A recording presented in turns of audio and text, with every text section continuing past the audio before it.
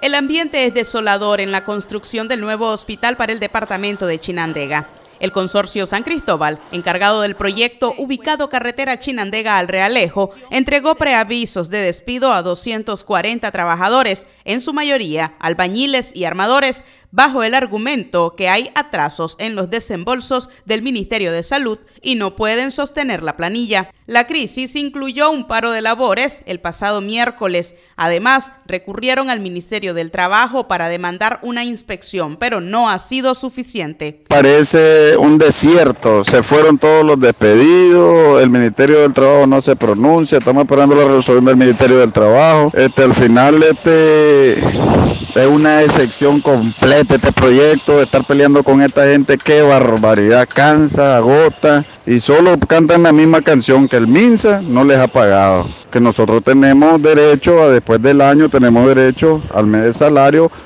o proporcional que se le dice. Alguna gente le dice la antigüedad pues cuando cruza el año.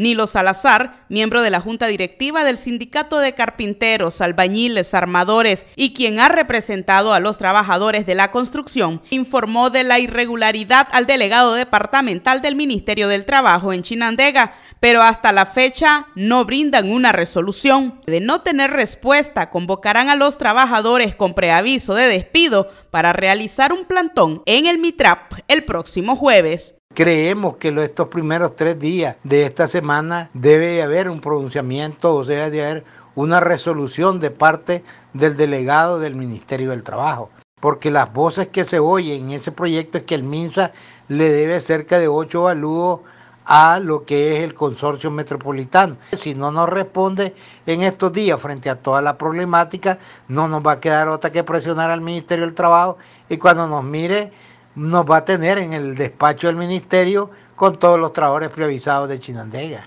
El proyecto se inició en el 2017. La obra supuestamente debe entregarse en el 2021. Darío Noticias.